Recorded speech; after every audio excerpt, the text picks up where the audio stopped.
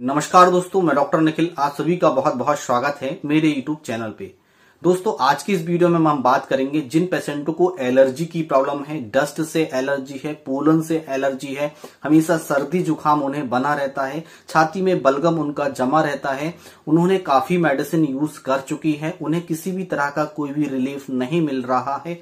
जो patients cetirizine medicine use करते हैं, एलोपैथिक में, जब तक वह सिट्राजिन मेडिसिन यूज़ करते हैं तो उन्हें रिलीफ रहता है। जिस तरह से वह सिट्राजिन मेडिसिन बंद कर देते हैं तो यह प्रॉब्लम्स उनकी रिपीट होने लगती है और तरह तरह की मेडिसिन यूज़ करने के बाद भी तरह तरह के टेस्ट करवाने के बाद भी उन्हें रिलीफ बिल्कुल भी नहीं होता है। तो आज की इस वीडियो में मैं एक होम्योपैथिक मेडिसिन की जानकारी आपको देने जा रहा हूँ, जो काफ़ी इफ़ेक्टिव है। एक सिंगल मेडिसिन है। यदि सिंगल मेडिसिन का ही आप यूज़ करते हैं तो जो आपको डस्ट से एलर्जी है पोलन से एलर्जी है, आप अपना कफ प्रॉपर तरीका से आपका बाहर नहीं निकल पाता। अब कफ को कफ को बाहर निकालना चाहते हैं रिस्पायरेटरी ट्रैक्ट सिम्टम में आपका कफ काफ़ी मात्रा में जमा हुआ है। जब भी आप सोते हैं तो बलगम की आवाज़ आती है, कफ साउंड आता है वीजिंग साउंड आता है तो उसके लिए काफ़ी इफ़ेक्टिव और होम्योपैथिक मेडिसिन है। यदि यह वीडियो आप देख रहे हैं तो यह वीडियो आपके लिए काफ़ी इंफॉर्मेटिव है। यदि आपके परिवार में किसी को भी यह प्रॉब्लम्स है तो यह वीडियो उन तक ज़रूर शेयर करिएगा, ताकि वह मेडिसिन का ज़रूर यूज़ करेंगे, अपनी प्रॉब्लम्स को ठीक कर सके। दोस्तों मेडिसिन को जानने से पहले, सबसे पहले हम सिम्टम्स को समझ लेते हैं कि किस तरह के सिम्टम्स हमें पेशेंटों में देखने को मिलते हैं तो हमें इस मेडिसिन का यूज़ करना चाहिए। जिन पेशेंटों को बहुत ज़्यादा छीके आती है डस्ट से उनको एलर्जी है पोलन से उनको एलर्जी है, मार्केट में वहाँ जाते हैं और उनको एलर्जी की प्रॉब्लम हो जाती है, छींके उनको बार बार आने लगती है, जुखाम उनको हो जाता है, आँखों से आँसू आने लगते हैं, आँखों में जलन होने लगती है तो उन पेशेंटों के लिए यह मेडिसिन काफ़ी इफ़ेक्टिव है। जिन पेशेंटों को सांस लेने में दिक्कत होती है, छाती में रिस्पायरेटरी सिम्टम पे उनका बलगम जम जाता है, सूखी खांसी चलती है, काफ़ी खांसी चलती है, कफ को प्रॉपर तरीका से बाहर निकालना चाहते हैं, पर कफ जो होता है, उनका प्रॉपर तरीका से बाहर नहीं निकल पाता तो उनके लिए काफ़ी इंफॉर्मेटिव मेडिसिन है। आपने देखा होगा, बहुत सारे ऐसे पेशेंट्स हैं, जिन्हें कफ की प्रॉब्लम होती है और हमेशा हेडेक का, सिर का, उनका दर्द हमेशा बना रहता है और नाक से उनके पानी बहने लगता है, आँखों से आँसू आने लगते हैं हेडेक की उन्हें प्रॉब्लम्स हो जाती है तो उनके लिए यह मेडिसिन काफ़ी इंफॉर्मेटिव है। जो एलोपैथिक मेडिसिन काफ़ी लंबे समय से यूज़ कर रहे हैं, जिन पेशेंटों को क्रोनिक कफ की प्रॉब्लम हो गई है, क्रोनिक एलर्जी की उन्हें प्रॉब्लम्स हमेशा बनी रहती है। होम्योपैथिक मेडिसिन भी उन्होंने तमाम यूज़ कर ली है, उन्हें रिजल्ट्स नहीं मिल रहा है। तो जो मेडिसिन मैं आपको बताने जा रहा हूँ, उस मेडिसिन का डोज मेडिसिन का रिपीटेशन काफ़ी मायने रखता है। यदि आप सही मात्रा में सही मेडिसिन का यूज़ करते हैं, सही सिम्टम्स को आप लेके चलते हैं, सही सिम्टम को मैच करते हैं तो आपकी जो प्रॉब्लम्स है, वह पूरी तरह से ठीक हो जाती है। कुछ पेशेंटों हमने देखा है जिन्हें क्रोनिक प्रॉब्लम की, क्रोनिक नजला की प्रॉब्लम होती है, कफ गले में जम जाता है और जिन्हें पोस्ट नेजल ड्रिप की प्रॉब्लम होती है। गले से कफ, नीचे की ओर, नाक से पीछे की ओर टपकने लगता है और येलोइस कफ होता है तो उसमें यह मेडिसिन काफ़ी इफ़ेक्टिव है। काफ़ी पेशेंटों में यह मेडिसिन यूज़ की गई है। काफ़ी अच्छे इसके रिजल्ट्स हमें देखने को मिले हैं। कुछ पेशेंटों में हमने देखा है कि उन्हें सांस लेने में बहुत ज़्यादा दिक्कत होती है। सफोकेशन उन्हें होने लगता है। ऑक्सीजन की शरीर में उनके कमी होने कमी होने लगती है और सांस लेने में बहुत ज़्यादा दिक्कत होती है। कफ जम जाता है, कफ निकल नहीं पाता तो उसमें इस मेडिसिन का यूज़ किया जाता है। कुछ पेशेंटों हमें दिखने, हमने देखा है कि बलगम निकालने में पेशेंट्स को बहुत ज़्यादा दिक्कत होती है। छींकी आती है जुकाम हो जाता है, आँखों से आँसू आने लगते हैं, नाक से पानी बहने लगता है। जब भी सुबह सो के उठते हैं तो यह प्रॉब्लम उन्हें ज़्यादा होने लगती है। कुछ पेशेंटों में हमने देखा है कि वह जब भी मार्केट में घूमने जाते हैं डस्ट से एलर्जी जैसी उन्हें होने लगती है तो उन्हें यहाँ पब्लिक प्लेस में इस समस्याओं का उन्हें सामना करना पड़ता है।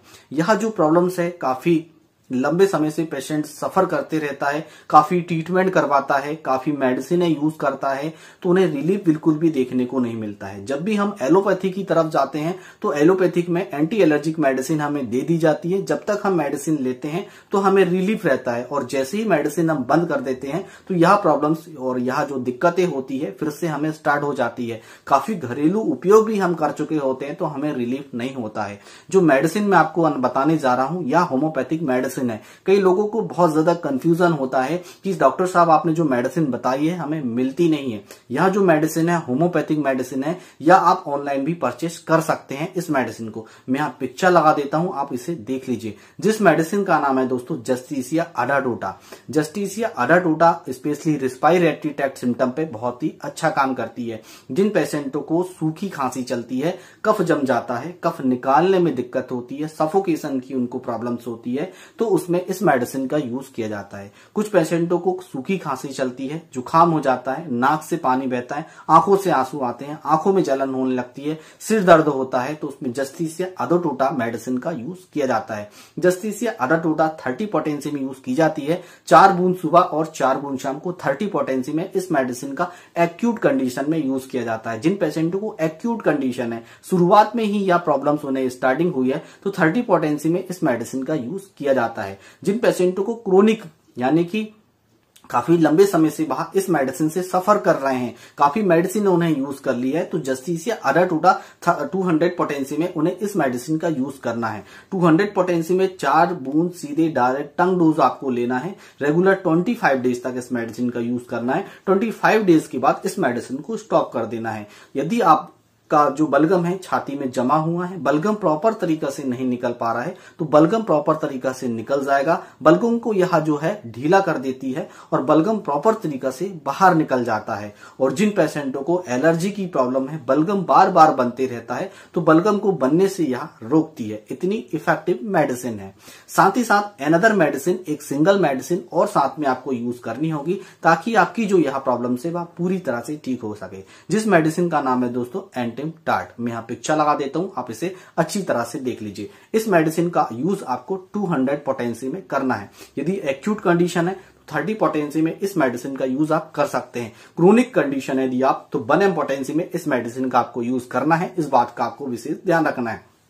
थर्टी पोटेंसी में यूज़ कर रहे हैं तो 40 दिन तक इस मेडिसिन का सेवन किया जाता है। पर कुछ परहेज हमें अवश्य करने चाहिए, जो वीडियो के लास्ट में मैं आपको बताने जा रहा हूँ। तो थर्टी पोटेंसी में आप 40 दिन तक सेवन कर सकते हैं। इस मेडिसिन का यूज़ क्रोनिक कंडीशन को ठीक करना चाहते हैं तो वन एम पोटेंसी में किया जाता है। वन एम पोटेंसी में चार बूंद सीधे डायरेक्ट टंग डोज लिया जाता है, और आने वाले पंद्रह दिन में एक बार फिर रिपीट किया जाता है, और आने वाले पंद्रह दिन बाद फिर इस मेडिसिन का रिपीटेशन किया जाता है। तीन डोज दिए जाते हैं, खाली पेट दिए जाते हैं। पेशेंट की जो कफ की प्रॉब्लम है, वह पूरी तरह से ठीक हो जाती है। एलर्जी की जो प्रॉब्लम है वह पूरी तरह से ठीक हो जाती है। मेडिसिन यूज़ करते समय कुछ परहेज करने चाहिए, जैसे कि आपको खटाई, ठंडी चीज़, खट्टी चीज़ों का सेवन नहीं करना चाहिए। कच्चा प्याज, कच्चा लहसुन नहीं खाना चाहिए। यदि सब्ज़ी में डल रहा है तो आप सेवन कर सकते हैं। इस बात का विशेष ध्यान रखना है। इस तरह से हम मेडिसिन का सेवन करते हैं। तो जो हमारी एलर्जी, कफ, कोल्ड, फ्लू जो प्रॉब्लम है हमारी, बलगम की जो प्रॉब्लम है, एलर्जी की जो प्रॉब्लम है, वह पूरी तरह से ठीक ठीक हो जाती है, इस बात का आपको विशेष ध्यान रखना है।